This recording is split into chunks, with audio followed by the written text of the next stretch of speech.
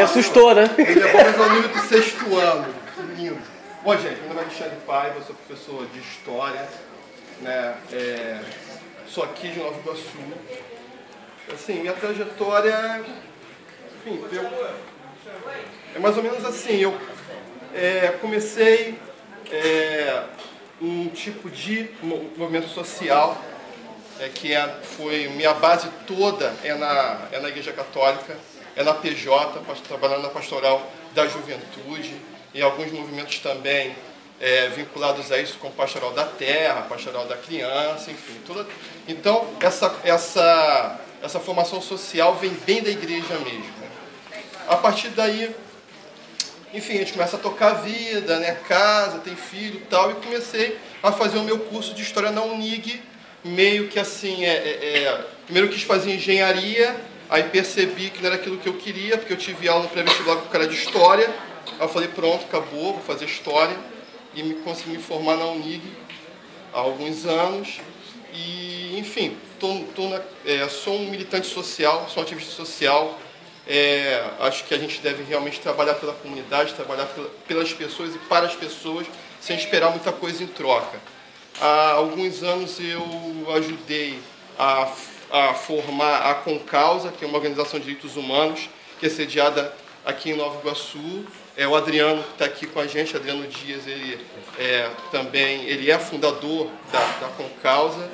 E estou afastado, estava presidente da Concausa, eu, e estou afastado porque nesse momento eu estou, pré-candidato a vereador pela Rede de Sustentabilidade, que é o partido da Marina Silva, e o Adriano é pré-candidato a prefeito. Mas isso é uma outra coisa. Outro isso, momento. isso fica para uma outra, enfim, isso é outra discussão. O que é importante é o seguinte, pré, os pré-vestibulares comunitários foram, foram, foi a primeira ação de buscar equalizar a diferença entre a população mais carente, especial é, é, os, é, os, negros, e, negros e carentes, né? Equalizar esse acesso à universidade pública. Isso na década de 80. Né? Então, esse, e todo, todos esses anos esse processo vem muito, de forma muito corajosa se mantendo e muito do voluntariado, né? apoio é, é, quase não existe, né? apoio apoio, apoio estatal, é uma coisa que não existe. E realmente é uma pena que não seja uma política pública os, os pré-vestibulares comunitários. Né?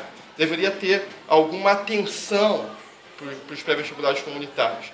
E aqui, desde que, quando eu ouvi falar aqui do, do Preveste, tem mais ou menos uns 12 anos.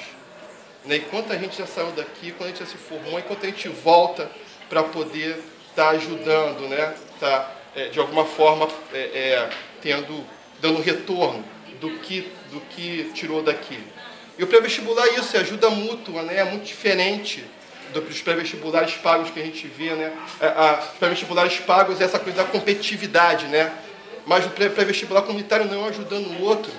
E isso é esse tipo de formação é, para a vida da pessoa, a pessoa leva isso e leva isso para casa, leva isso para a família, leva isso para o bairro onde mora e acaba voltando para cá. Então, gente, só posso dar os parabéns para vocês pela coragem do pessoal que está aqui, né? O pessoal que veio conhecer. E é uma pena que esse espaço não seja valorizado do jeito que, que deveria ser. Então vamos trazer gente para cá. Espero que as turmas se multipliquem e que a gente tenha uma galera da Baixada Fluminense, de Nova Iguaçu, negro, carente, nas universidades públicas para mostrar que a galera da Baixada Galera de Nova Iguaçu tem possibilidade sim de fazer diferença. Tá bom? Parabéns. É isso, muito obrigado. Bom dia para vocês.